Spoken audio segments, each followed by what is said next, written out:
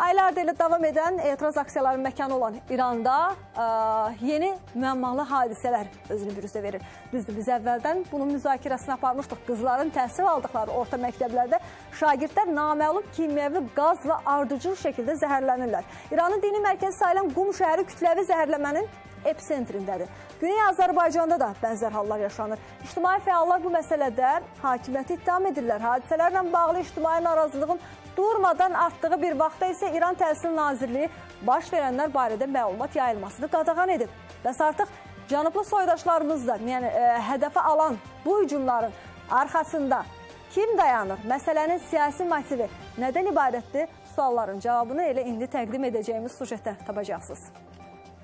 İranın məktəb və universitetlərində qızların müəmmalı və kütləvi zəhərlənməsi halları davam edir. Bununla bağlı ilk fakt ötən il noyabrın 30-da Qum şəhərində yerləşən Nur Qızlar Gimnasiyasında qeydə alınıb. Həmin gün 18 məktəblinin zəhərləndiyi barədə xəbər yayılıb. Onlar nəfəs darlığı, əl və ayaq əzələlərinin keyməsi simptomları ilə tibb mərkəzinə müraciət ediblər.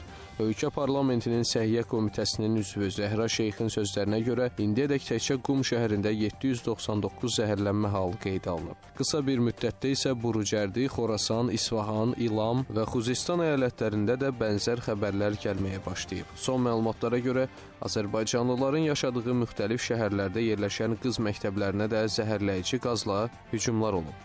Təbriz, Səncan, Urmiyə, Xalxal, Germi, Meşkinşəhər, Marağa, Əbhar və Xurrəmdərə şəhərlərində eyni ssenari təkrarlanıb.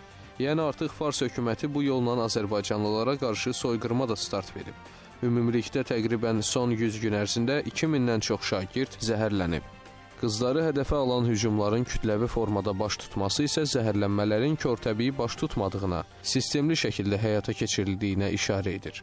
Tehranda zəhərlənən qızların müalicəsi ilə məşğul olan həkimin ifadəsindəki çarpıcı sözlərdən çox rahatlıqla dərk eləmək mümkündür. Həkim deyir ki, qızların zəhərlənməsinə səbəb olan maddə kəsinliklə və kəsinliklə normal həyatda normal insanlar tərəfindən təmin oluna biləcək bir maddə deyil. Bu sadəcə dövlət və onun qurumları tərəfindən təmin oluna bilər. İkincisi, İran İslam Cümhuriyyəti məqamları hadisələr başladığı gündən məsələni örtbas etməyə, informasiyanın yayılmasına imkan verməməyə və yayılan informasiyaları da ortadan qaldırmağa cəhd göstərdilər. Siyasi şərhçilərin fikrincə hakimiyyət bu əməlləri törətməklə bir növ hicab və rejim əleyhinə nümayişlərdə iştirak edənlərə qarşı bioloji silah tətbiq edir. Hakimiyyət orqanlarının artıq silsilə xarakteri alan zəhərlənmə faktlarını açıq-aşkar örtbasdır etməyə çalışması da bu ehtimalı gücləndirir. Xamneyə çox yaxın olan bir qruplar vardılar ki, bunlar o aşırı dinçi olduqları üçün aşırı o demək olar Şiə məzhəbi və din ə, sözlərinə inandıqları üçün Bunlar zaten qızların və qadınların dərs oxumalarına, bunların toplumda ictimai həyat sürmələrinə qarşıdılar və açıqca hətta bunlar bir bəyaniyyə də payladılar. Orada açıqca bunu dilə gətirdilər ki, qızların məktəbə gedib təhsil almaları, dərs oxumaları hətta İmam Zəmanla savaşa girmək anlamına gəlir. Özəlliklə Güney Azərbaycanımızın bir çox şəhrində geniş şəkildə qızlarımızı zəhərləyirlər və buracan da təəssüflə e, e, rejim yəni heç bir iş görməyib, çünki bu iş zaten rejimin öz tərəfindən yönəltilir, üstörtülü olsa da başarı və zəfər qorxutmaqdadır ilkəsidir.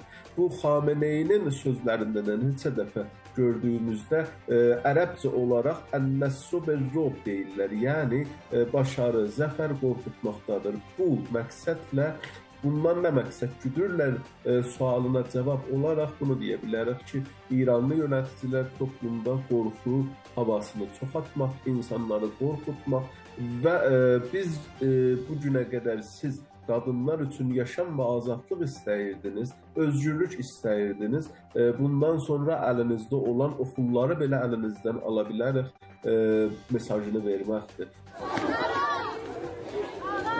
Lakin molla rejiminin sərgilədiyi bu mövqe xalqı qorxutmur. Əksinə ölkə daxilində ciddi narazılığa səbəb olur. Aylardır davam edən etiraz aksiyaları səngimək yerinə yeni fazaya keçir. Belə ki, Tehranda valideynlər Təhsil Nazirliyinin binası qarşısında mitinq keçirirlər. Eyni zamanda digər şəhərlərdə də aksiyalar davam edir. Bütün bunlar isə onu göstərir ki, molla rejiminin əl atdığı bu dırnaqarası mübarizə üsulu heç bir fayda verməyəcək. Əhalinin azadlıq əzmini qıra bilməyəcək. Bu gün deyil, 1979-dan e, sözdə İran İslam devrimindən sonra da ən çox basqılar qadınlara, qızlara olmuşdur. Devrimin ilk illərində saçları dışarıda qalan qızların alnlarına iynə batıran aynı bu rejim idi. Bu gün də yenə onları qazları ilə zəhərləndirir. Amma başara bilməyəcəkdir. Bu günlərimizi ailələr də buna etiraz edirlər və əminəm ki, yaxındakı etirazlarda da böyük bir qiyamlara səbəb olacaqdır. Amma bu rejim bu konuda başarı olmayacaqdır. Çünki bu sadəcə qız məsələsi deyil, ailə məsələsidir. Rejim burada yanlış qərarların üstünə bir başqa bir yanlış qərar vermişdir və bunun da bədəlini millət rejimə ödətdirəcəkdir. Tək xalq yox, beynəlxalq ictimaiyyət də İranda baş verən hadisələrə ciddi reaksiya verəcəyini açıqlayıb. BMT-nin İnsan Haqları üzrə Komissarlığı, Uşaq Fondu, eləcə də UNICEF İran hökumətini hadisələri araşdırmağa çağırıb. Nüfuzlu təşkilatların yaydığı bəyanatlarda bildirilib ki, rəsmi Tehran tədqiqat prosesi yekunlaşandan sonra nəticələri ictimaiyyətə çatdırmalı və günahkarları məsuliyyətə cəlb etməlidir. Bununla belə görünən odur ki, hələlik qlobal səviyyədə çağırışlar elə çağırış səviyyəsində də qalır. İran rejimi zəhərlənmələrə qarşı ciddi mübarizə aparmaqdansa məsələni örtbasdır etməyə üstünlük verir. Ölkənin Təhsil Nazirliyinin məktəblərdə zəhərlənmələrlə bağlı media nümayəndələrinə məlumat verilməməsi barədə göstərişini də başqa cür şərh etmək mümkün deyil. Əslində etdiyinin arxasında dayanmamaq, ikiyüzlü siyasət yürütmək Fars rejimi ilə bütünləşən əməllərdir. Odur ki, terrorun yuvasına çevrilən din pərdəsi arxasında hər cür çirkin üsullara əl atan dövlətin baş verənlərə öz maraqları naminə göz yumması da təəccüblü deyil. Hətta düşünsək ki, indiyə qədər İran daxildəki bütün qarışıqlıqları başqa ölkələrlə əlaqələndirib, onda məktəblərdə baş verən zəhərlənmələrlə bağlı tədqiqatın nəticələrində də üçüncü ölkələrin adını görəcəyimiz istisna deyil.